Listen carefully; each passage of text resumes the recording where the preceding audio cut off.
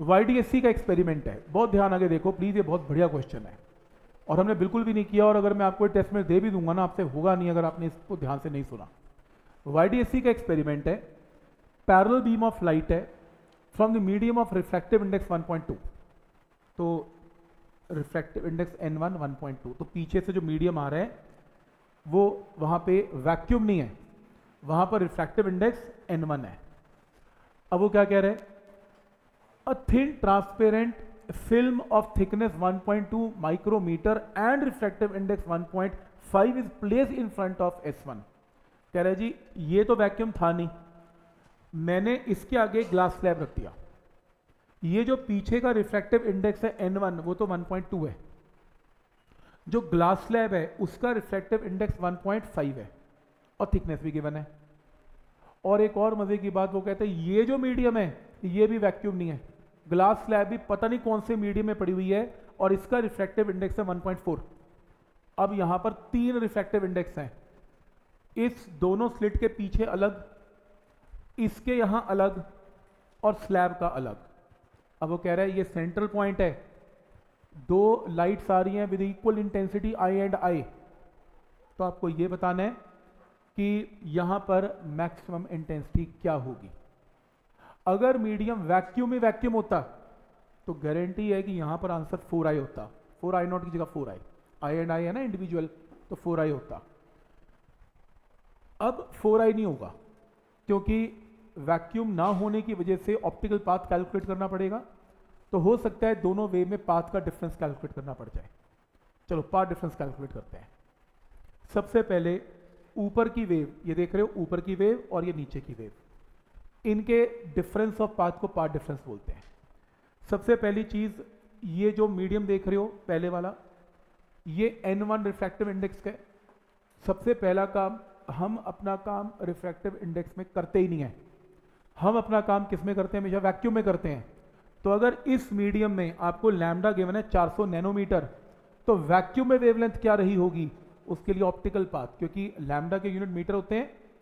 तो अगर लैमडा की यूनिट मीटर है तो इसको रिफ्रैक्टिव इंडेक्स से मल्टीप्लाई कर दें तो जो इतने नैनोमीटर आएगा, ये वैक्यूम की वेवलेंथ आ गई। क्योंकि हम सारा कुछ वैक्यूम में कन्वर्ट करने वाले तो हमें एक्चुअल वेवलेंथ पता लग गई वैक्यूम में इतनी। तो जब मैं वेवलेंथ की वैल्यू पुट करूँगा कि कहीं पर तो मैं 480 पुट करूँगा 400 पुट नहीं करूँगा। ये पहला ट्रिक है। पहला पॉइंट क्लियर है। तो वेवलेंथ को कन्वर्ट कर लेना वैक्यूम में। अब आगे कहानी और स्टार्ट होती है। अब ऊपर क्या हुआ? ये तो पाथ बराबर है, इसमें तो क्या कैलकुलेट करना? यहाँ पे पाथ अलग है, ये पाथ अलग है। तो अगर मैं पाथ का डिफरेंस निकाल दूँ, वहाँ से आप फ़ेज़ का डिफरेंस निकाल लेना, वहाँ से इंटेंसिटी रिजल्टेंट का फॉर्मूला लगा देना। तो पाथ का डिफरेंस कैसे? सबसे पहले ये बताओ, ये जो लाइट है, इसने कितना पाथ कवर किया? इसने जितना भी पाथ कवर किया, मान लो ये एस वन ओ है या एस है, चलो, ये डिस्टेंस एस है और ये डिस्टेंस भी एस है, ये एस है तो इसने कितना कवर किया? N two into S आपको एन टू से मल्टीप्लाई क्यों कर रहे हो? क्योंकि मीडियम वैक्यूम नहीं ना? और अगर वैक्यूम नहीं तो पहले डिस्टेंस को वैक्यूम में कन्वर्ट करो। तो वैक्यूम के अंदर डिस्टेंस कितना क्रिएट हो गया इसमें? एन टू एस ठीक है? तो ये जो डिस्टेंस अगर वैक्यूम में लिया जाए तो ये एन टू इंटू एस हो जाएगा। राइट क्लियर हो गया? अब ये बताओ कि इसके अंदर ये पाथ कितना कवर हुआ? ये तो हमने किया भी था। इसकी म्यू क्या है? रिफ्रैक्टिव इंडेक्स है इसका वन पॉइंट फाइव है और इसको टी से क्या कर दिया? मल्टीप्लाई तो ये मेरा पाथ ट्रेवल्ड है। वैसे तो स्लैब की थिकनेस टी गिवन है, पर वैक्यूम के अंदर ये जो डिस्टेंस ट्रेवल करेगी ग्लास स्लैब में लाइट वो म्यू इंटू टी करेगी। तो path travel mu into T लेकिन एक प्रॉब्लम है, बचा हुआ डिस्टेंस कितना बच गया? एस माइनस टी अंदर अगर टी है ग्लास स्लैब का तो बचा हुआ कितना है? एस माइनस टी अब वो भी वैक्यूम नहीं है।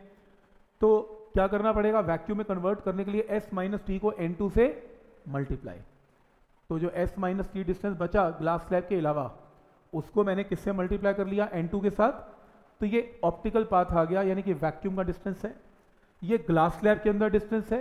तो ये ऊपर की वेव का डिस्टेंस है. ये नीचे की वेव का डिफरेंस है.